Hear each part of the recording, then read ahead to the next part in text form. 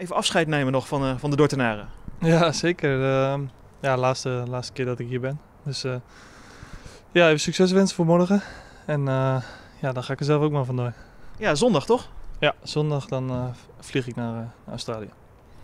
ja, plat gezegd, ik zou dat rete spannend vinden. Nee, ja, tuurlijk. je gaat natuurlijk helemaal opnieuw beginnen ergens. ze kennen je natuurlijk niet heel erg goed. Zeker als persoon niet. Dus ja, nieuwe mensen leren kennen een nieuw leven eigenlijk, een, een nieuw avontuur, uh, ja, een nieuw land. Dus uh, Engels zal even wennen zijn denk ik in het begin, maar uh, ja, komen we wel uit denk ik. Dat denk ik ook wel. Maar het is grappig als jij dan hier zit. Ik zie je zitten naast Marco Bogus. En dan komen één voor één komen die jongens even naar je toe. goede vlucht en zo. Je bent er zo, even oogjes dicht, dat soort dingen. Het is toch wel, toch wel apart. Nou ja, dat is ook leuk. Dat is ook wel, zegt ook wel iets over de manier hoe we met elkaar omgaan hier, denk ik. En dat is ja, natuurlijk hartstikke leuk half jaar gehad met die, met die jongens. En, en met de club hier en uh, veel wedstrijden kunnen spelen. En uh, helaas het uh, resultaat af en toe wat teleurstellend. Alleen hoop, hoop dat ze dat een beetje recht kunnen breien het tweede seizoen zelf.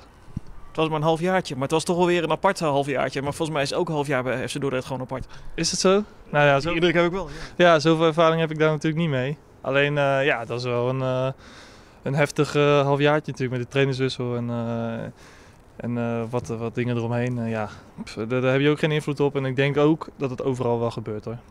Ja, alleen hier uh, zien we het misschien dan opeens. Ja. Iedereen zegt wel, deze club kan beter presteren dan we tot nu toe gedaan hebben. We hebben meer kwaliteit dan eigenlijk laten zien. Deel jij die mening? Jij kan nu eigenlijk ja, vanaf de zijde dat een keer beoordelen. Ja, nou ja, goed dat snap ik wel dat er gezegd wordt. Omdat, uh, omdat er ontzettend veel talent in de groep zit en ontzettend veel potentie. Maar uiteindelijk, moet je wel, uiteindelijk sta je wel gewoon waar je hoort. En dat moet je wel zelf afdwingen door, door wedstrijden te winnen. En uh, dat gaat ook wel eens uh, niet leuk of niet, niet mooi. En ja, dat is wel een, dat is wel een dingetje om, om te leren, denk ik. En daar zit er heel veel rek in. En ja, ik denk als we dat een beetje onder de knie krijgen, dat, ja, dat de wedstrijden wat makkelijker gewonnen worden. Je hebt nu bij aardig wat clubs al gezeten. Natuurlijk bij Herenveen, je hebt Sparta gezeten, Excelsior. Wat maakt Dordrecht nou apart? Ja, ja ik, ik Dordrecht ja, is eigenlijk een hele gezellige club, heel kleine club ook. En, en dat bedoel ik meer in de zin van dat, dat er uh, ja, relatief weinig mensen aan, op de club zijn. En dat het eigenlijk wel, wel een band schept. En dat het wel, ook wel zorgt voor, ja, voor, een, voor een sterkere band dan, dan als je bij een hele grote vereniging zit. En ja, dat, dat vind ik wel leuk. Dus, dus dan zeg maar een soort van iets minder professioneel, maar meer warmte, zoiets. Professioneel zou ik niet, uh, niet willen, uh, willen zeggen, want de mensen die hier aan het werk zijn, die doen, uh, ja, doen hartstikke professioneel hun, hun werk. Alleen ik bedoel meer dat, het, dat je iedereen uiteindelijk goed gaat kennen en dan een half jaar. Dat, is, dat, dat gaat toch vrijwel snel. Ja, dat is niet normaal bij een club eigenlijk. Nee, als je bij een club als Heerenveen zit, ja, dit is natuurlijk ook een provincieclub en maar erg groot op een gegeven moment geworden. En dan, ja, dan op een gegeven moment dan verlies je wel eens het overzicht en dat heb je hier niet. Het is nu een regenachtig Dordrecht. Ik sta een beetje te blauwbekken. Jij ook trouwens, of niet? het is frisjes, ja. Ik ben blij dat dat, dat vanaf zondag afgelopen is. Jij gaat de zomer in?